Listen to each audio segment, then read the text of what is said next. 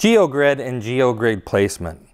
It's super important that whenever you're installing GeoGrid, you know which direction of strength the GeoGrid is.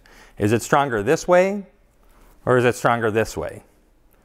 If you didn't know, if you didn't read on the package, you don't know now. When you're placing GeoGrid, you want to make sure that you inset it on the block. You don't want to be overhanging like we did for this example. There's no amount of utility knives that you can use and go through to cut this off of the concrete after the fact. We've had guys try to burn it off, what a mess.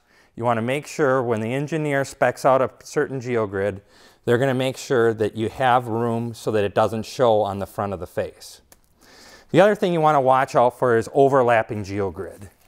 When you overlap geogrid, grid is slippery, grid on grid. You never want to overlap geogrid for a couple of reasons. Number one, you worked really hard to get your, all of your block nice and level. If you overlap this grid on grid, what's going to happen to the next block? It's going to start to tip on you, right? So you want to make sure that it's tight to each other with your grid, but that it's not overlapping. The other thing, sometimes it's unavoidable that you might need to overlap your geogrid. Maybe that's spec because it's an outside curve, right? So as this grid goes back, this grid's going to overlap at some point.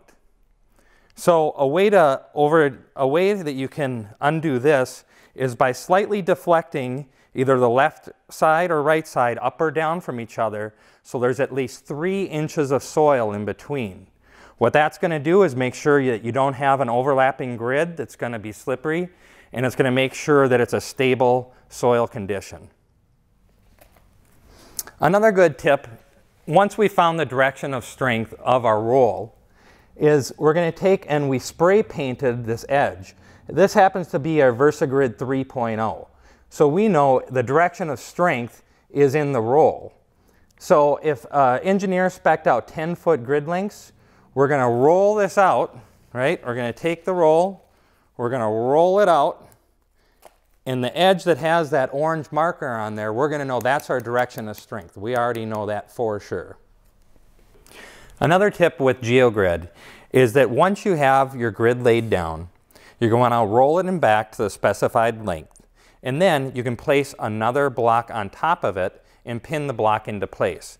This allows you to pull the grid tight and you can also stake it into place.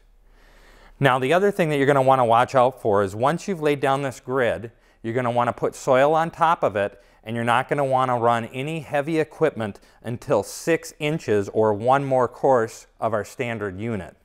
Once you have six inches of compacted soil, then, that, then you can start to have heavy equipment go over it. Until then, you're in danger of ripping the grid out of it.